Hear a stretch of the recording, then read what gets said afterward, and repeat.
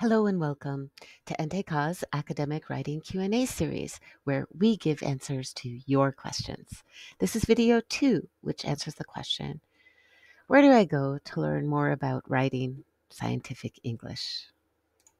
My name's Stephanie Krueger. I spent over 20 years in various roles in scholarly communications, and among other things, have assisted with over 40 journal articles in many different disciplines. So, for the answer to question two, where do I go to learn more about writing scientific English? The short answer is there are so many resources available to you that the hard part might be selecting the best combination of learning resources for you. The next few slides will just highlight a few of the options available to you. These include university courses, higher quality online classes, as well as NTK's self paced resources and the option to have an individual consultation with NTK's team.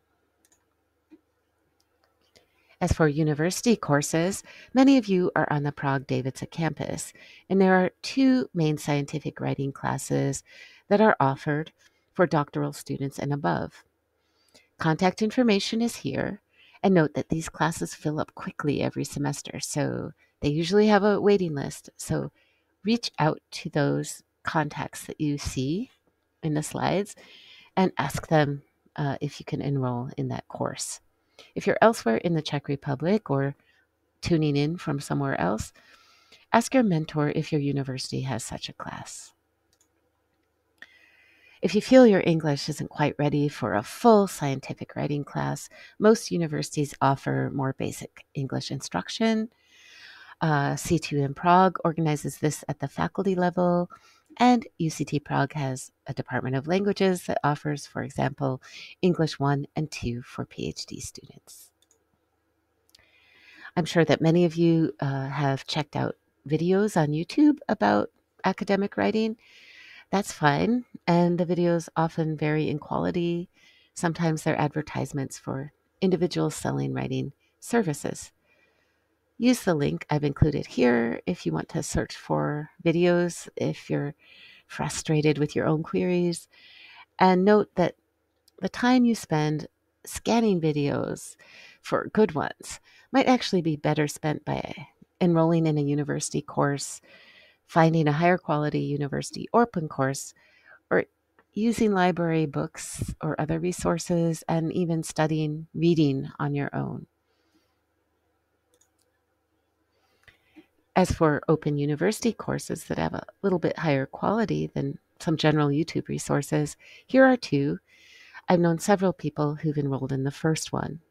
There are others, but I just wanted to highlight some examples. NTK, the library, has many resources available to you, including books, both print and electronic, as well as other self help tools, including tutorials, and other guides, recordings of previous webinars. Check out the links here to learn more. So that's a quick overview of where to learn more about academic English and writing in the real world, in the virtual world. And if you're still confused, I highly recommend scheduling an in person or virtual consultation with a member of NTK's services team. They'll be happy to meet with you and discuss this topic. Thanks for listening. This is Stephanie Krueger, the NTCA Academic Writing Q&A series, and I wish you all best.